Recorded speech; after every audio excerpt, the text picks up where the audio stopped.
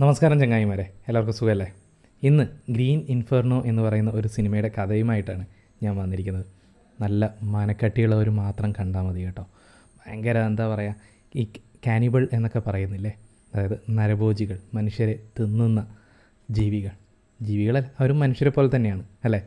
അപ്പോൾ ഇതൊന്നും ഞാൻ എക്സ്പ്ലെയിൻ ചെയ്ത് തരണ്ടേ നിങ്ങളൊക്കെ ഒരുപാട് തവണ കണ്ടു കാണും. അപ്പോൾ അത്തരമൊരു സിനിമയാണ് ഏതായാലും ഗ്രീൻ ഇൻഫെർണോ എന്ന് പറയുന്നത്. ഹോസ്റ്റലൊക്കെ സിനിമ സംവിധാനം ചെയ്ത സംവിധായകനില്ലേ എലി റോത്ത്? പുള്ളിയുടേതാണ് ഈ കഥയും. പുള്ളി ഒരുമാതിരി സൈക്കോ ആണെന്ന് തോന്നുന്നല്ലേ അപ്പോൾ ഏതായാലും നമുക്ക് കൂടുതൽ പറഞ്ഞ് ബോറടിപ്പിക്കാതെ നേരെ കഥയിലേക്ക് പോവാം.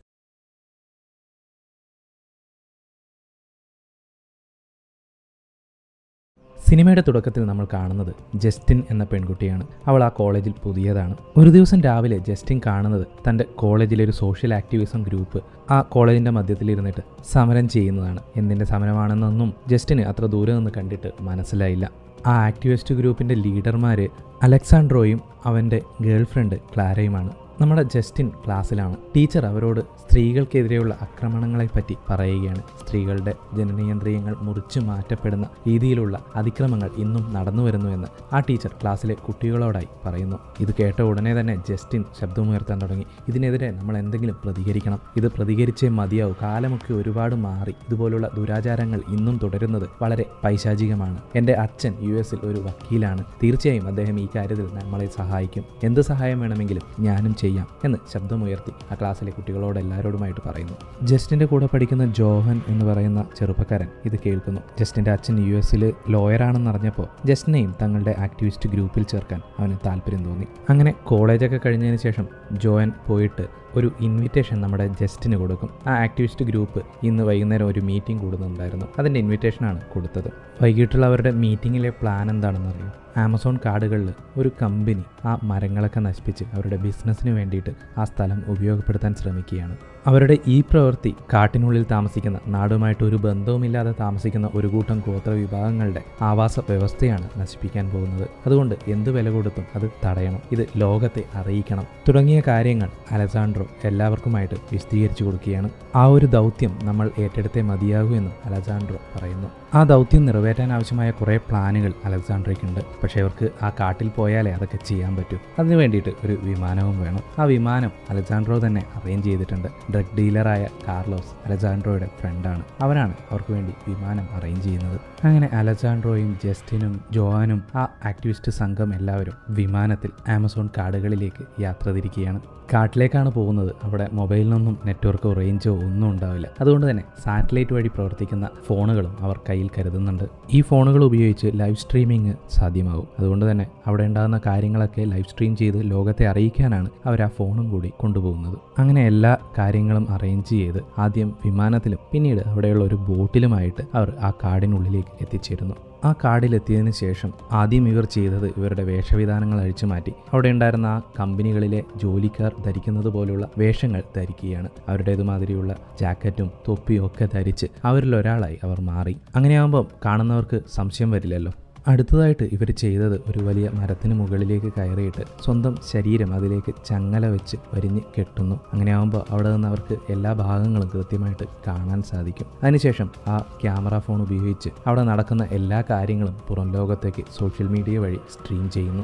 പക്ഷേ ആ കമ്പനിയുടെ സെക്യൂരിറ്റി ഗാർഡ് ഇവരെ തിരിച്ചറിഞ്ഞു. അവർ അവരുടെ അടുത്തേക്ക് ഓട്ടി വന്ന് ജസ്റ്റിന്റെ കയ്യിലുണ്ടായിരുന്ന ആ മൊബൈൽ പിടിച്ച് വലിച്ചെറിഞ്ഞ് വെടിവെച്ച് പൊട്ടിക്കുന്നു. ശേഷം ജസ്റ്റിനെയും പിടിച്ച് തോക്കുമുനയിൽ നിർത്തി ഭീഷണിപ്പെടുത്തുന്നു. അപ്പോൾ അലക്സാണ്ട്ര ഇവരോടായിട്ട് വിളിച്ചു പറയും. നമ്മൾ ഈ കാര്യങ്ങൾ മുഴുവൻ ലൈവ് സ്ട്രീം ചെയ്തുകൊണ്ടിരിക്കുകയാണ്. നിങ്ങൾ ഈ ചെയ്യുന്ന ഓരോ കാര്യങ്ങളും പുറം ലോകം അറിഞ്ഞുകൊണ്ടിരിക്കുകയാണ്. മാത്രമല്ല നിങ്ങളിപ്പോൾ പിടിച്ചിരിക്കുന്ന പെൺകുട്ടി യു എസിലെ ഒരു ലോയറുടെ മകളാണ്. അവളെ തൊട്ടാൽ നിങ്ങൾ വിവരം അറിയുകയും ചെയ്യും. അലക്സാണ്ട്രയും സംഘവും ആ കാര്യങ്ങൾ മുഴുവൻ ലൈവ് സ്ട്രീം ചെയ്യുന്നുണ്ടെന്ന് ആ കമ്പനിയുടെ അധികൃതർ ടി വിയിലൂടെ അറിയുന്നു. അതുകൊണ്ട് തന്നെ സെക്യൂരിറ്റി ഗാർഡ്സിനെ വിളിച്ചു പറയുന്നു. അവരെ വെറുതെ വിടാനും താൽക്കാലികമായിട്ട് കൺസ്ട്രക്ഷൻ വർക്കുകളൊക്കെ നിർത്തിവെക്കാനും. അങ്ങനെ ആ സെക്യൂരിറ്റി ഗാർഡ്സ് ഇവരെ വന്ന വഴി തിരിച്ചയക്കുന്നു. വന്ന കാര്യങ്ങൾ ചെയ്തു തീർത്ത ഒരു സംതൃപ്തിയിൽ ആ സംഘവും തിരിച്ച് വിമാനത്തിൽ മടങ്ങുന്നു.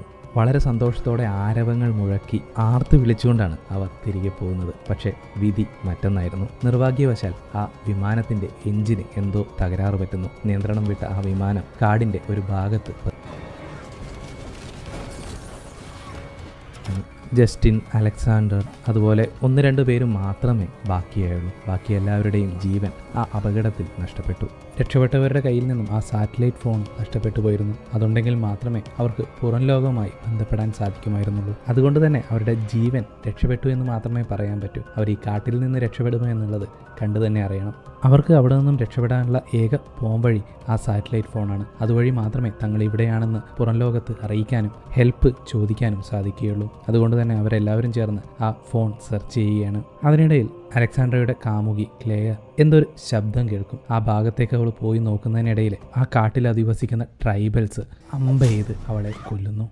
ബാക്കിയുള്ളവർക്ക് നേരെയും അവർ അമ്പുകളെയ്യുന്നു പക്ഷേ അത് കൊല്ലുന്നതിന് വേണ്ടിയിട്ടായിരുന്നില്ല അവരെ ബോധം കെടുത്തുന്നതിന് വേണ്ടിയിട്ടായിരുന്നു. അതിനുശേഷം ഇവരെയെല്ലാം എടുത്തിട്ട് ആ ട്രൈബൽസ് അവരുടെ താമസ സ്ഥലത്തേക്ക് കൊണ്ടുപോകുന്നു. അവിടെ എത്തിയപ്പോഴേക്കും ഒരു കൂട്ടം ട്രൈബൽസ് അവരുടെ നേരെ വരുന്നു. ഒരുമാതിരി നിരാഹാര സത്യാഗ്രഹം കിടന്നവന്റെ മുന്നിൽ ബിരിയാണി കൊണ്ടുവച്ച പോലെ ആ ട്രൈബൽസ് ഒക്കെ ഇവരെ പിച്ചിയും മാന്തിയും വലിച്ചും പിടിച്ചും ഒക്കെ നോക്കുന്നുണ്ട്. അങ്ങനെ ജുവാനെ ഒഴിച്ച് ബാക്കി എല്ലാവരെയും മരം കൊണ്ടുണ്ടാക്കിയ ഒരു കൂട്ടിനുള്ളിലേക്ക് ബന്ധിക്കുന്നു. ശേഷം ജുവാനെ അവിടെ ഉണ്ടായിരുന്ന ഒരു പാറയിലേക്ക് കിടത്തുന്നു. അതിനുശേഷം ഈ ട്രൈബൽസിന്റെ നേതാവ് എന്ന് തോന്നിക്കുന്ന ഒരു സ്ത്രീ ഒരു മരത്തിന്റെ കത്തി ഉപയോഗിച്ച് ജുവാന്റെ കണ്ണ് തുരന്നെടുത്ത് ഭക്ഷിക്കുന്നു. അവന്റെ ചോരയും കുടിക്കുന്നു. അതിനുശേഷം മറ്റൊരുത്തം വന്നിട്ട് ജീവനോടെ ഇരിക്കെ ജുവാന്റെ കൈകളും കാലുകളും പോത്തിനെ അറക്കുന്നത് പോലെ അറത്തെടുക്കുന്നു. ശേഷം ആ കയ്യിലും കാലിലും ഒക്കെ മസാലയൊക്കെ പുരട്ടി ഉപ്പും കാര്യങ്ങളൊക്കെ പുരട്ടി നമ്മൾ അൽഫാം ഉണ്ടാക്കൂലേ അതുപോലെ പാചകം ചെയ്ത് ആ കാട്ടുവാസികൾ ഭക്ഷിക്കുന്നു.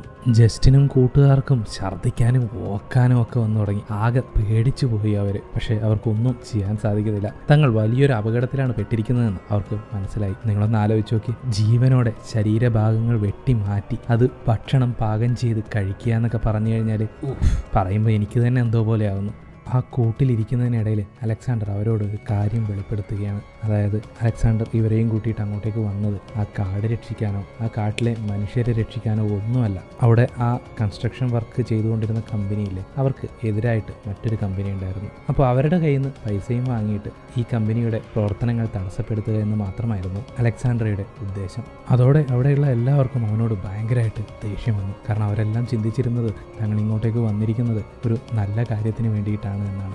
ഈ അലക്സാണ്ടർ കാരണമാണ് തങ്ങളെല്ലാം ഈ വലിയ അപകടത്തിൽ പെട്ടിരിക്കുന്നത് എന്നുള്ളത്. അലക്സാണ്ടറിനോട് അവർക്കുള്ള ദേഷ്യം ഇരട്ടിപ്പിച്ചു. അടുത്ത ദിവസം ഒരു ആദിവാസി പെൺകുട്ടി ഈ കൂടിനടുത്തേക്ക് വരുന്നു. അവിടെ വെച്ച് ജസ്റ്റിൻ അവളുടെ കയ്യിലുണ്ടായിരുന്ന ഒരു കുഴൽ പോലുള്ള ഒരു സാധനം വെച്ച് അവളെ കളിപ്പിക്കുകയും അവളുമായിട്ട് ഒരു കമ്പനി ഉണ്ടാക്കിയെടുക്കുകയും ചെയ്യുന്നു. എന്തോ ഒരു ബോണ്ടിങ് അവർ തമ്മിൽ ഉണ്ടായി. ഇപ്പോൾ അവരുടെ കൂട്ടത്തിൽ ബാക്കിയുള്ളത് മൂന്ന് സ്ത്രീകളും മൂന്ന് പുരുഷന്മാരുമാണ്. ആ ആദിവാസി കൂട്ടം വന്നിട്ട് ആ മൂന്ന് സ്ത്രീകളെയും കൂട്ടിയിട്ട് പുറത്തേക്ക് പോകുന്നു. അവിടെ വെച്ച് ഇവരിൽ ആരാണ് വിർജിൻ എന്ന് അവർ ചെക്ക് ചെയ്യുന്നു. എങ്ങനെയാണ് ചെക്ക് ചെയ്യുന്നതെന്നൊക്കെ നിങ്ങൾ ആ സിനിമ കാണുമ്പോൾ മനസ്സിലാവും. അതൊക്കെ വളരെ പൈശാചികമായ രീതിയിലാണ് ചെയ്യുന്നത്. അങ്ങനെ ജസ്റ്റിൻ മാത്രമാണ് വിർജിൻ എന്ന് അവർക്ക് മനസ്സിലാവുന്നു. അതോടെ മറ്റു രണ്ട് സ്ത്രീകളെയും അവർ ആ കൂട്ടിലേക്ക് തിരിച്ചിടുന്നു. അതിനുശേഷം ജസ്റ്റിനെ മറ്റൊരു സ്ഥലത്തേക്ക് കൂട്ടിക്കൊണ്ടുപോയി കുറിയൊക്കെ തൊട്ട് പൗഡറൊക്കെ പൂശി എന്തൊക്കെയോ ചെയ്യുന്നു.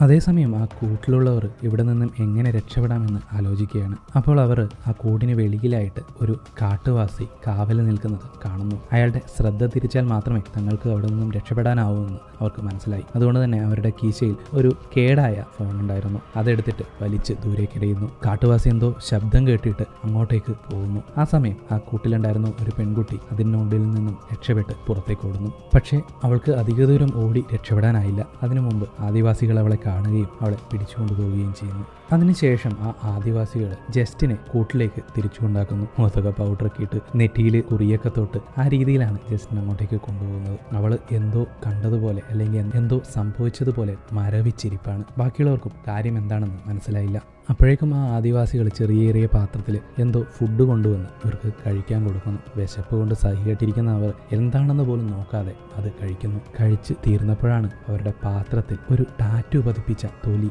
കാണുന്നത്. നേരത്തെ അവിടെ നിന്നും രക്ഷപ്പെട്ട് പുറത്തേക്ക് ഓടിയ ആ പെൺകുട്ടിയുടെ ശരീരത്തിലുണ്ടായിരുന്ന അതേ ടാറ്റു. അപ്പോഴാണ് അവർ പുറത്ത് ആ ടാറ്റു പതിപ്പിച്ച സ്കിന്നുമായിട്ട് ആ ആദിവാസി കുട്ടികൾ കളിക്കുന്നത് കാണുന്നത്. അതുകൂടി കണ്ടതോടെ തങ്ങൾ ഭക്ഷിച്ചത് തങ്ങളുടെ സുഹൃത്തിനെ തന്നെയായിരുന്നു എന്ന് മനസ്സിലാക്കിയ അവർ നടുങ്ങിപ്പോയി. ആ വിഷമം സഹിക്കാൻ വയ്യാതെ അതിലുണ്ടായിരുന്ന ഒരു പെൺകുട്ടി അവർ തന്നിരുന്ന പാത്രം അടിച്ചു പൊട്ടിച്ച് അതുകൊണ്ട് കഴുത്തറുത്ത് മരിക്കുന്നു. കൂടെ ഉണ്ടായിരുന്ന എല്ലാവർക്കും ഭയങ്കര വിഷമമായി. അതിനുശേഷം അവരൊരു പ്ലാൻ തയ്യാറാക്കുന്നു. അവരുടെ കയ്യിൽ കുറച്ച് മയക്കുമരുന്നുണ്ടായിരുന്നു. ആ മയക്കുമരുന്ന് ഈ പെൺകുട്ടിയുടെ വായിലൂടെ തിരുകി ആ ശവശരീരത്തിന്റെ ഉള്ളിലേക്ക് എത്തിക്കുന്നു. അവർക്കറിയാമായിരുന്നു ഈ മരിച്ച പെൺകുട്ടിയെ ഈ ആദിവാസി സംഘം ഭക്ഷണമാക്കുമെന്ന്. അപ്പോഴേക്കും ആ ആദിവാസി കൂട്ടത്തിലെ ഒരുത്തൻ ആ കറത്തിരുണ്ട രൂപമുള്ളവൻ അങ്ങോട്ടേക്ക് വരികയും മരിച്ച ആ പെൺകുട്ടിയുടെ ബോഡി വെട്ടി നുറുക്കി. അതിനുശേഷം ആ ആദിവാസി സംഘം അത് ഭക്ഷണത്തിനായി പാകം ചെയ്യുകയും ചെയ്യുന്നു. മയക്കുമരുന്ന് ചേർന്നിട്ടുള്ള ബോഡിയല്ലേ ഭക്ഷണമായിട്ട് കഴിച്ചത്. ഇപ്പോൾ ആ കാട്ടുവാസികൾക്കെല്ലാം ആ വേറൊരു ലോകത്താണ്. എല്ലാവരും കൂടിയിട്ട് ഇങ്ങനെ മയങ്ങി കിടക്കുകയാണ് പറന്ന് കിടക്കുകയാണ് എന്നൊക്കെ പറയാം. അപ്പോൾ ആ സമയത്ത് ഇവർ മൂന്ന് പേരും ആ കൂട്ടിൽ നിന്ന് പുറത്തിറങ്ങുന്നു. ആദ്യം നമ്മുടെ ജസ്റ്റിനും പിന്നീട് അവളുടെ ഒരു കൂട്ടുകാരനും പുറത്ത് കിടന്ന്. മൂന്നാമത്തെ ആൾ കടക്കാൻ ശ്രമിക്കുമ്പോൾ നമ്മുടെ അലക്സാണ്ടറോ എന്ത് ചെയ്തു എന്നറിയോ? അവിടെ ഉണ്ടായിരുന്ന ഒരു ചെറിയ ഒരു അമ്പിന്റെ പോലെ തന്നെ ഒരു സാധനമാണ്. അതെടുത്തിട്ട് ഇയാളെ കുത്തി പരിക്കേൽപ്പിക്കുന്നു. എന്നിട്ട് പറയുന്നു നിങ്ങൾ രക്ഷപ്പെട്ടോളൂ. എന്നെ കമ്പനിയുടെ ആൾക്കാർ രക്ഷപ്പെടുത്തിക്കോളൂ. പക്ഷേ ഞാൻ ഒറ്റയ്ക്ക് ഇവിടെ ആയാൽ നിങ്ങൾ രക്ഷപ്പെട്ടതിന്റെ ദേഷ്യം ഈ കാട്ടുവാസികൾ എന്നോട് തീർക്കും. അതിന് ഇവൻ ഈ കൂട്ടിലുണ്ടായിരിക്കുന്നതാണ് നല്ലത് എന്നും പറഞ്ഞിട്ട് അലക്സാണ്ട്രോ അവനെ പോകാൻ അനുവദിക്കുന്നില്ല. പുറത്തിറങ്ങിയ രണ്ടുപേർക്കും ഭയങ്കരമായിട്ട് ദേഷ്യം വരും. അവർ ആ മൂന്നാമനെ രക്ഷപ്പെടുത്താൻ ശ്രമിക്കുകയും ചെയ്യും. പക്ഷേ അതിന് സാധിക്കുന്നില്ല. അവസാനം മനസ്സില്ലാ മനസ്സോടെ അവരവിടെ നിന്നും രക്ഷപ്പെട്ടു ഓടുന്നു. അങ്ങനെ അവർ ഓടി ഓടി ഒരുപാട് പ്രതിബന്ധങ്ങൾ തരണം ചെയ്ത് അവരുടെ വിമാനം തകർന്നു വീണ സ്ഥലത്തേക്ക് എത്തുന്നു. എങ്ങനെയെങ്കിലും ആ സാറ്റലൈറ്റ് ഫോൺ കണ്ടുപിടിച്ച് പുറം ലോകത്തെ വിവരം അറിയിച്ച് അവിടെ നിന്ന് രക്ഷപ്പെടാനായിരുന്നു അവരുടെ പ്ലാൻ. പക്ഷേ അവിടെ എത്തി അവർ ഞെട്ടിപ്പോയി. പ്ലെയിൻ അപകടത്തിൽ മരിച്ച അവരുടെ കൂട്ടുകാരുടെ ശവശരീരങ്ങൾ കമ്പിൽ കോർത്ത് നിർത്തിയിരിക്കുന്നു. പേടിയും സങ്കടവും എല്ലാം സഹിച്ച് അവർ സാറ്റലൈറ്റ് ഫോൺ സെർച്ച് ചെയ്ത് കണ്ടുപിടിക്കുന്നു. നമ്മുടെ അലക്സാണ്ട്രോയുടെ കാമുകി ക്ലെയറിന്റെ കീശയിൽ നിന്നും ജസ്റ്റിൻ അത് കണ്ടെത്തുന്നു. പക്ഷേ അപ്പോഴേക്കും ആ ആദിവാസി കൂട്ടം അങ്ങോട്ടേക്ക് എത്തുന്നു. വായ കൊണ്ട് അമ്പ ചെയ്ത് അവർ ജസ്റ്റിനെയും കൂട്ടുകാരനെയും പിടിക്കുന്നു. മയക്കുമരുന്നിന്റെ ആലസ്യത്തിൽ നിന്നും എഴുന്നേറ്റ ആ കാട്ടുസംഘം കൂട്ടിൽ നിന്നും മറ്റു രണ്ടുപേർ രക്ഷപ്പെട്ടത് മനസ്സിലാക്കുന്നു. അതിന്റെ ദേഷ്യം അവർ തീർത്തത് അലക്സാണ്ട്രയുടെ കൂടെ ഉണ്ടായിരുന്നവനെ ജീവനോടെ പിച്ചി ചീന്തിയാണ്. അവന്റെ കാലും കൈയും ഓരോ ഭാഗങ്ങളും അവർ വലിച്ചു പറിച്ചെടുത്തു. ഇപ്പോൾ ജസ്റ്റിനും ആ കൂട്ടുകാരനും ഈ ഗോത്രവർഗത്തിന്റെ പിടിയിലാണ്. അവർ ആ ചെറുപ്പക്കാരനെ ഒരു കമ്പിൽ കെട്ടിയിടുന്നു. അതിനുശേഷം മരക്കമ്പൊക്കെ ഉപയോഗിച്ച് അവനെ അടിച്ച് വേദനയെടുപ്പിക്കുന്നു. ശേഷം ഒരു പച്ച നിറത്തിലുള്ള എന്തോ ഒരു പശ പോലത്തെ സാധനം അവന്റെ ദേഹം മുഴുവൻ തേച്ച് പിടിപ്പിക്കുന്നു. എവിടെ നിന്നാണെന്നറിയില്ല ഒരുപാട് ഉറുമ്പുകൾ അവന്റെ ശരീരത്തിലേക്ക് ഇരച്ചു കയറുന്നു. അതിന്റെ കടിയേറ്റ് വേദന കൊണ്ട് പുളയുകയാണ് അവൻ. രക്ഷപ്പെടാൻ ശ്രമിച്ചതിനുള്ള ആദിവാസികളുടെ ക്രൂരമായ ശിക്ഷയായിരുന്നു അത്. അവർ ജസ്റ്റിനെയും ഒരു സ്ഥലത്ത് കൊണ്ടുപോയി കിടത്തിയിരിക്കുകയാണ്. പൂർണ നഗ്നയാക്കി അവളുടെ ശരീരത്തിലൂടെ പെയിന്റ് പോലെ എന്തോ ഒന്ന് തേക്കുന്നു. അപ്പോഴേക്കും ആ ആദിവാസി മൂപ്പത്തി അങ്ങോട്ടേക്ക് വരുന്നു. കയ്യിൽ എന്തോ ഒരു കൊമ്പ് പോലുള്ള സാധനമുണ്ട്. നേരത്തെ ഇവരുടെ വെർജിനിറ്റി ചെക്ക് ചെയ്ത അതേ സാധനം. അത് ജസ്റ്റിന്റെ ജനനേന്ദ്രിയത്തിലേക്ക് കയറ്റാനായി ശ്രമിക്കുന്നതിനിടയിൽ വെടിയൊച്ചയും ഒക്കെ കേൾക്കുന്നു. അതേസമയം ആ ഗോത്രത്തിലെ ഒരാൾ ആ കമ്പനിയുടെ ആളുടെ അതേ രീതിയിലുള്ള തൊപ്പി ധരിച്ച ഒരു തലയും കൊണ്ട് വരുന്നു. കമ്പനിയുടെ ആൾക്കാർ ഇവരെ ആക്രമിക്കാനായി വരുന്നുണ്ട് എന്ന് അവൻ സൂചന നൽകുന്നു. അതോടെ ജസ്റ്റിനെ അവിടെ ഉപേക്ഷിച്ചിട്ട് അവർ കമ്പനിക്കാരുമായിട്ട് യുദ്ധത്തിന് പുറപ്പെടുന്നു. കാഹളം മുഴക്കി അവരെല്ലാവരും അങ്ങോട്ടേക്ക് പോകുന്നു. ജസ്റ്റിൻ ഇപ്പോഴും ആ കെട്ടിൽ തന്നെ കിടക്കുകയാണ്. അവിടുന്ന് രക്ഷപ്പെടാൻ അവൾ പരമാവധി ശ്രമിച്ചു പക്ഷേ സാധിക്കുന്നില്ല. ഒരാൾ കാവലിനുമുണ്ട് ആ സമയത്ത് നേരത്തെ ജസ്റ്റിനുമായിട്ട് കമ്പനിയായ ആ പെൺകുട്ടിയിലെ അവൾ അങ്ങോട്ടേക്ക് വരുന്നു. ആ ആദിവാസി പെൺകുട്ടി ജസ്റ്റിന്റെ കൈ കെട്ടിയിരിക്കുന്നത് അഴിച്ചു മാറ്റുന്നു. ബാക്കി അവളും അഴിക്കുന്നു. അപ്പോഴേക്കും ആ കാവൽ നിൽക്കുന്ന പെണ്ണ് അങ്ങോട്ടേക്ക് വരുന്നു. ജസ്റ്റിൻ കെട്ടുള്ളതുപോലെ തന്നെ കിടക്കുന്നു. അവളുടെ മൂക്കിൽ നിന്നും ആ കമ്പ് വലിച്ചൂരി അവിടെ നിന്നും രക്ഷപ്പെടുന്നു.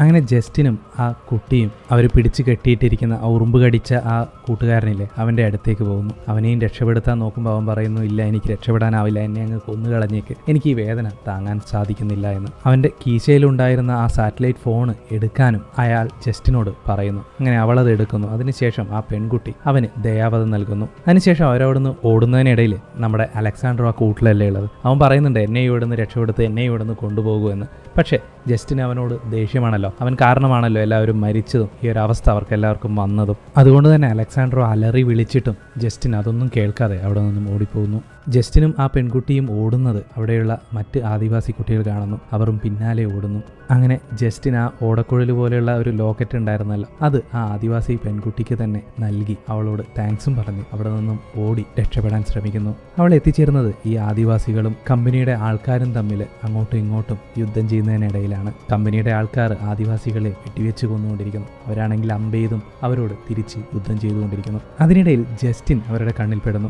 അവളെയും വെടിവെക്കാൻ നോക്കുന്നതിനിടയിൽ അതിനിടയിൽ അവൾ പറയും കയ്യിലൊരു മൊബൈൽ ഉണ്ടായിരുന്നല്ലോ. ആ മൊബൈൽ കാണിച്ചു കൊടുത്തിട്ട് അവൾ പറയും ഞാൻ ഇതൊക്കെ പുറത്ത് ഷൂട്ട് ചെയ്യുന്നുണ്ട്. നിങ്ങളുടെ എല്ലാ കാര്യങ്ങളും പുറലോകം അറിയുന്നുണ്ട്. ലൈവ് സ്ട്രീമിംഗ് ചെയ്തുകൊണ്ടിരിക്കുകയാണ്. പക്ഷേ ആ മൊബൈൽ ശരിക്കും പറഞ്ഞു കഴിഞ്ഞാൽ കേടായിട്ടാണുള്ളത്. അത് അടുത്ത് വന്നാൽ അവർ മനസ്സിലാക്കുക എന്നുള്ളത് കൊണ്ട് പെട്ടെന്ന് അവളത് താഴേക്കിടുന്നു അറിയാതെ വീണു പോയതുപോലെ. അവർ എല്ലാവരും അടുത്തേക്ക് വന്ന് നോക്കുമ്പോൾ അതിന്റെ സ്ക്രീൻ പൊട്ടിയിരിക്കുകയാണ്. പക്ഷേ അവർ വിചാരിക്കുന്നു ഇവൾ പറഞ്ഞതൊക്കെ സത്യമാണ്. ഇവൾ ലൈവ് സ്ട്രീമിംഗ് ചെയ്യുന്നുണ്ടായിരുന്നു എന്ന് അതുകൊണ്ട് അവളെ കൊല്ലാതെ അവരുടെ കൂടെ വിടുന്നു. അവളൊരു യു എസ് സിറ്റിസൺ ആണെന്ന് അവൾ വിളിച്ചു പറഞ്ഞിരുന്നു. ആദിവാസി പെൺകുട്ടിയല്ല എന്നും അവൾ പറയുന്നുണ്ടായിരുന്നു. അതുകൊണ്ടായിരിക്കാം ഒരുപക്ഷെ അവർ അവളെ കൊല്ലാതെ വിട്ടത്. അങ്ങനെ അവർ ആദിവാസികളോടുള്ള യുദ്ധം നിർത്തുന്നു. അതിനുശേഷം ജസ്റ്റിനെയും കൂട്ടിയിട്ട് അവർ ഒരു ഹെലികോപ്റ്ററിൽ നാട്ടിലേക്ക് പോവുകയാണ്. അപ്പോൾ അവർ ചോദിക്കും ഇനി വേറെ ആരെങ്കിലും അവിടെ കുടുങ്ങിയിട്ടുണ്ടോ? അവരെ രക്ഷപ്പെടുത്തേണ്ടതുണ്ടോ? പക്ഷേ ജസ്റ്റിൻ അപ്പോൾ തന്നെ പറയും ഇല്ല ആരുമില്ല. ഞാൻ മാത്രമാണ് ബാക്കിയായത്. ബാക്കി എല്ലാവരും മരിച്ചിരുന്നു എന്ന്. അങ്ങനെ സേഫായിട്ട് ന്യൂയോർക്കിലെത്തിയ നമ്മുടെ ജസ്റ്റിനോട് ഗവൺമെന്റ് ഓഫീഷ്യൽസ് ഇന്റർവ്യൂ നടത്തുന്നു. അതിൽ നമ്മുടെ ജസ്റ്റിന്റെ അച്ഛനുമുണ്ട്. അവർ ജസ്റ്റിനോട് അവിടുത്തെ ആദിവാസികളെ പറ്റി ചോദിക്കുന്നു. അവർ നരുഭോജികളായിരുന്നു. അവർ നിങ്ങളെ ഉപദ്രവിച്ചോ എന്നൊക്കെ. പക്ഷേ അവൾ പറയും ഇല്ല ആ വിമാനാപകടത്തിൽപ്പെട്ട ഞങ്ങളോട് വളരെ ഫ്രണ്ട്ലി ആയിട്ടാണ് അവർ ബിഹേവ് ചെയ്തത്. എല്ലാവരും വിമാനാപകടത്തിലാണ് മരിച്ചത്. ഞാൻ മാത്രമാണ് രക്ഷപ്പെട്ടത്. അവരുള്ളത് കൊണ്ട് മാത്രമാണ് ഞാൻ ജീവനോടെ ഇന്നും ഇവിടെ ഇരിക്കുന്നത് എന്നൊക്കെ. മാത്രമല്ല ആ പെട്രോ കെമിക്കൽ കമ്പനിയാണ് അവരെ ആ ആദിവാസികളെ ഒരുപാട് ഉപദ്രവിച്ചിരുന്നത് എന്നും ജസ്റ്റിൻ ആ ഒഫീഷ്യൽസിനോട് പറയുന്നു. അങ്ങനെ ആ പെട്രോ കെമിക്കൽ കമ്പനിയുടെ പ്രവർത്തനങ്ങൾ ഒരു കാരണവശാലും അവിടെ തുടങ്ങരുത് എന്ന് ഗവൺമെന്റ് ഉത്തരവിറക്കുന്നു. കുറച്ച് ദിവസങ്ങൾക്ക് ശേഷം ജസ്റ്റിന് ഒരു കോൾ വരുന്നു. അലക്സാണ്ട്രയുടെ സിസ്റ്റർ ആയിരുന്നു അത് അവൾ പറയുന്നു എനിക്ക് നിങ്ങളെ കാണണമെന്ന്. പക്ഷെ അവൾ പറയും ഇല്ല അലക്സാണ്ട്ര മരിച്ചുപോയി. എനിക്ക് അവനെ രക്ഷപ്പെടുത്താൻ സാധിച്ചില്ല എന്ന്. അപ്പോൾ അലക്സാണ്ട്രയുടെ സിസ്റ്റർ അവളോട് പറയും ഞാൻ സാറ്റലൈറ്റ് ഫോൺ വഴി അലക്സാണ്ട്രയെ പോലെ തോന്നിക്കുന്ന ഒരു വ്യക്തിയുടെ ഫോട്ടോ കണ്ടു. അതിനെപ്പറ്റിയാണ് എനിക്ക് നിങ്ങളോട് സംസാരിക്കേണ്ടത് എന്ന്. ആ സമയത്ത് അവന്റെ രൂപം എങ്ങനെയായിരുന്നു എന്നറിയോ? ഒരു കറുത്ത മനുഷ്യനുണ്ടായിരുന്നില്ല വലിയ ഒരു ഇവരെയൊക്കെ അടിക്കുകയും പിടിക്കുകയൊക്കെ ചെയ്യുന്ന അയാൾ അവനെപ്പോലുള്ള രൂപമാണ് ഇപ്പോൾ അലക്സാണ്ട്രയ്ക്ക്. ഒരുപക്ഷെ ആ മരിച്ചുപോയ ആ വ്യക്തിക്ക് പകരം ഇവനെ അവർ തിരഞ്ഞെടുത്തിട്ടുണ്ടാവാം. ഈ ഒരു സീനോട് കൂടിയാണ് സിനിമ അവസാനിക്കുന്നത്. ഈ വീഡിയോയും സിനിമയുടെ കഥയും നിങ്ങൾക്ക് ഇഷ്ടപ്പെട്ടു എന്ന് കരുതുന്നു. നിങ്ങളുടെ സപ്പോർട്ടുകൾ തുടർന്നും പ്രതീക്ഷിച്ചുകൊണ്ട് വീണ്ടും കാണാം. അതുവരെ